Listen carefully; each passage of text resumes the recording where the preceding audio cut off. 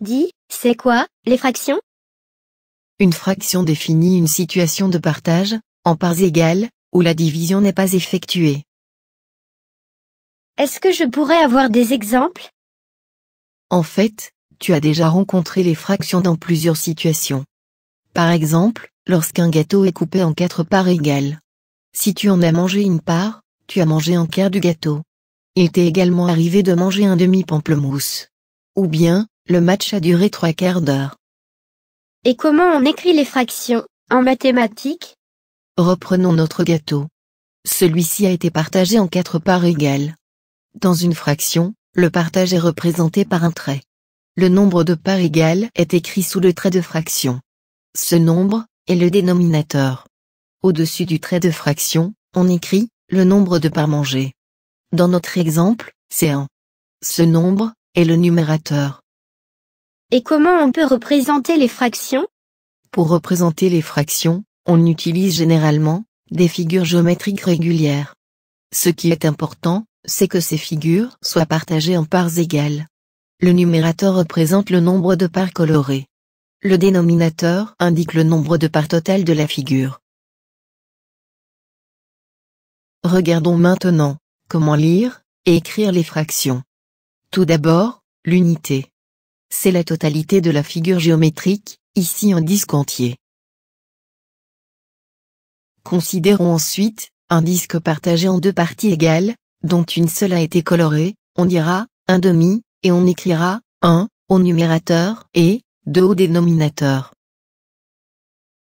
Si maintenant, on prend un disque partagé en trois parties égales, dont une seule est colorée, on dira, un tiers, et on écrira, 1, au numérateur, et 3, au dénominateur.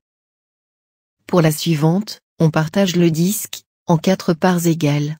Une seule part est colorée, soit un quart, avec 1 au numérateur et 4 au dénominateur. Lire et dire une fraction devient plus simple lorsque le dénominateur est supérieur à 4. Il suffit de rajouter yème au nombre du dénominateur. Par exemple, cinquième, douzième, etc. Veux-tu essayer? 4 cinquièmes, 3 sixièmes, 5 huitièmes, 9 seizièmes. Félicitations pour toutes ces réponses.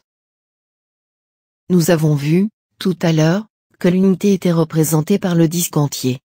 Si maintenant, on partage ce disque en deux, et si les deux parties restent colorées, il s'agit toujours de l'unité. L'unité s'écrit, ici, deux demi. De même, trois tiers.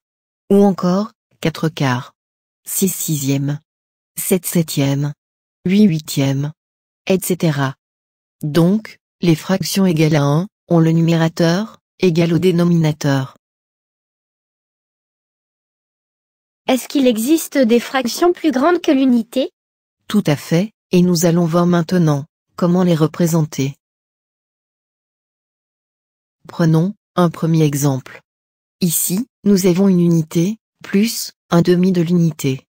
Cela s'écrit aussi, 3 demi, si je considère l'unité partagée en deux. Nous avons donc, au final, 1, plus un demi, est égal à 3 demi. Prenons, un deuxième exemple. Ici, nous avons une unité, plus, 4 sixièmes.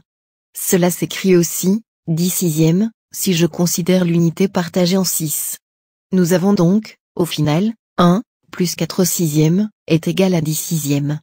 Veux-tu faire ce dernier exemple? 1 plus 2 cinquièmes est égal à 7 cinquièmes. L'unité peut être partagée en 5 parts égales. Donc, si j'ai bien compris, les fractions plus grandes que l'unité ont leur numérateur plus grand que leur dénominateur. Bravo. Tu as tout compris. Je te dis, à bientôt pour une prochaine vidéo. Au revoir.